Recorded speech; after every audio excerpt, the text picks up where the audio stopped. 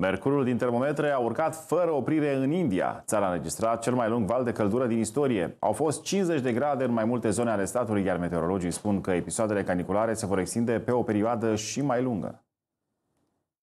India este dominată de un val de căldură excesivă de 24 de zile. De la jumătatea lunii mai, termometrele nu au mai arătat mai puțin de 50 de grade Celsius în mai multe orașe. Meteorologii spun că de vină este lipsa ploilor care îngreunează semnificativ traiul oamenilor răpuși de căldura insuportabilă. Ploile musonice sunt preconizate să apară la finalul lunii iunie, însă nu pentru mult timp. Adoptarea unor noi măsuri de siguranță pentru cetățeni pare să fie cât mai cerută de specialiști. În ultimele săptămâni, numai puțin de 56 de persoane au murit din cauza caniculei. Efectele sale sunt în continuare devastatoare. Majoritatea cetățenilor nu au apă potabilă, zeci de oameni au fost surprinși în luna mai cum se îmbrânceau pentru a lua apă din cisterne.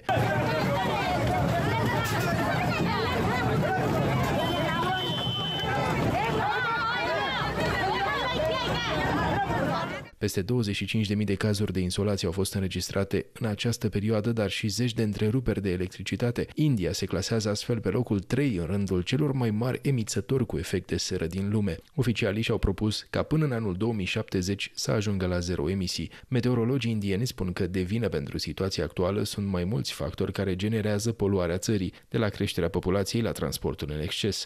Toate acestea pun în pericol atât locuitorii cât și generațiile viitoare.